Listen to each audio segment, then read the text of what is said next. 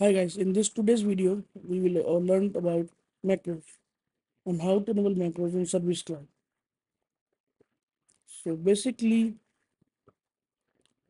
macros is sales uh, in Salesforce allow you to perform actions or repeated action in Service Cloud.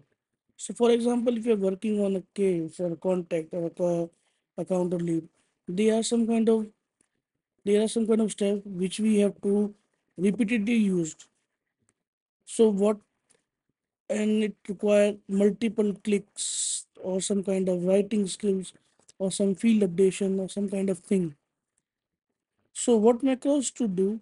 What ma- macros will make you step by step instruction so that you can automate the instruction. So whenever we need, uh, whenever we need to uh, perform that action, we can just play the macros and that action is automatically performed. Now let's see how to enable macros.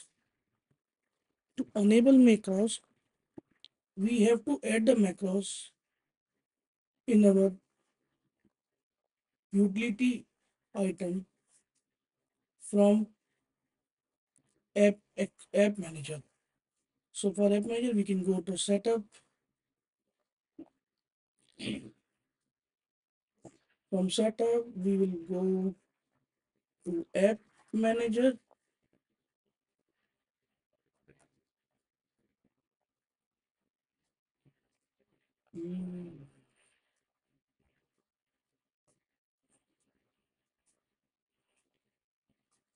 From app manager we will go to service console.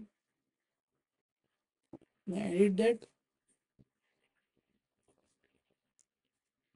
and from utility item we can add that. Now after adding the macros we will go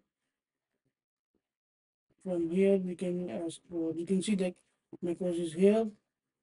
Now we can create new macros from here as well. And we can create it from here and write macros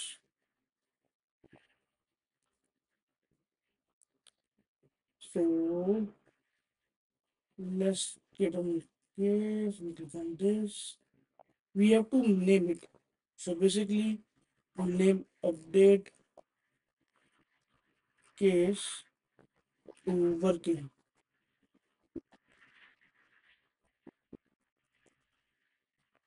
so we are updating like whenever agent is working it will uh, play the macros and it will update the status of the case to working. Okay now from edit instruction we have to edit the instruction.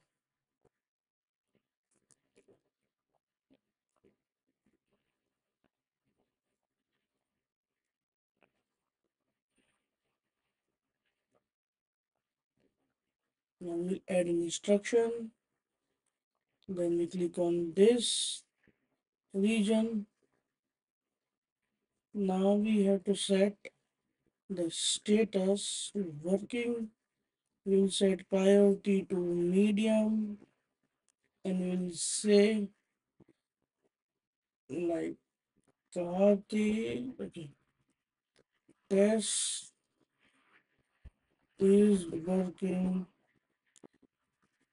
we can say that we are testing macros and we will then click on save.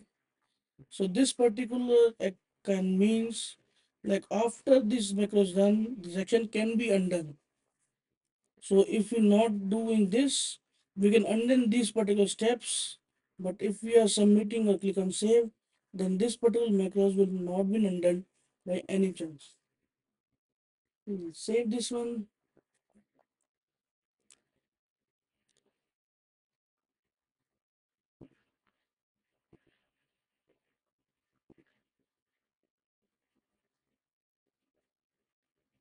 Then we go to here. Refresh it.